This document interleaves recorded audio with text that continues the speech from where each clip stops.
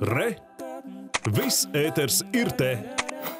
Bet Eiropas komisija paziņoja jaunākās ekonomikas prognozes, un lai gan Eiropas ekonomika atgūstas no pandēmijas radītajām sekām, tomēr Krievijas iebrukums Ukrainā radīs jaunus izaicinājumus. Tāpēc Eiropas ekonomikas pieauguma tempi samazinās, bet inflācija pieaug. Esam šobrīd sazinājušies ar mūsu korespondenti Briselē, Ilzi Naglu. Sveiki, Ilze!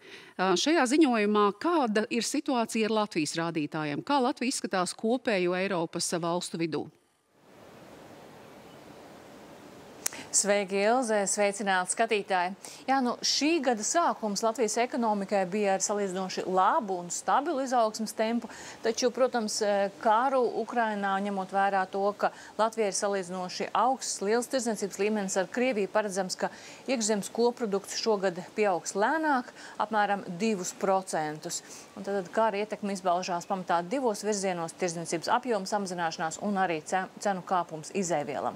Salīdzinājumam mēs redzam, ka Igaunijas un Lietuvas ekonomika šogad cietīs vēl vairāk. Piemēram, Igaunijai tiek prognozēta ekonomikas izaugsme 1%. Tā ir vislēnākā ekonomikas izaugsme visā Eiropas Savienībā. Bet, nu, gaidāms, ka nākamgad situācija uzlabosies un Latvijai prognozē pat mazliet ātrākus izaugsmes tempus nekā vidēji Eiropā, proti 2,9%. Bet, nu, visstrājāko ekonomisko izaugsmu šogad sola Portugālē 5,8% un Īrijai 5,4%. Bet Eiropas ekonomikas vilcējspēkam Vācijai tikai 1,6%.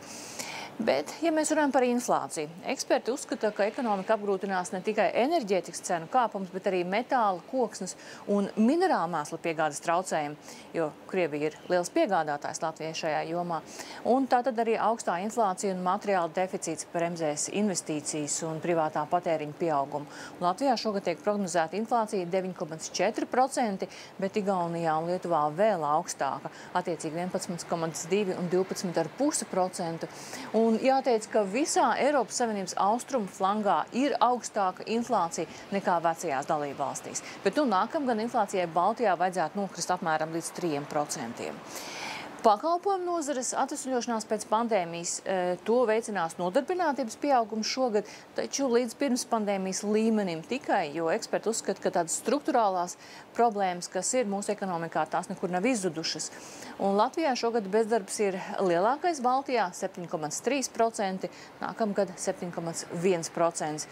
Un arī tiek paredzēts, ka tie cilvēki, kas bēg no kara Ukrainā un ierodas Latvijā un šeit atrod darbu, tikai īslaicīgi palielinās darba spēka piedāvājumu, taču visticamāk viņi paliks Latvijā vidē tikai dažus mēnešus un līdz ar to ilgtermiņa ietekme uz darba tirgu, tāpēc no viņu puses ir ierobežota. Bet no eksperta rēķina, ka bezdarba līmenis turpinās samazināties, jo samazinās arī strādājošo skaits un tas varētu veicināt eh, pat visai strauju augu pieaugumu gan šogad, gan arī nākamgad. Ilze? Jā, paldies, Ilza Nagla ziņo no Briseles par to, ka ir izplatītas jaunākās Eiropas ekonomikas prognozes, un tā skaitā arī par Latviju, kur salīdzinājumā ar Baltijas valstīm Latvijas ekonomika augs lēni, tomēr nedaudz straujāk nekā Igaunijā un Lietuvā.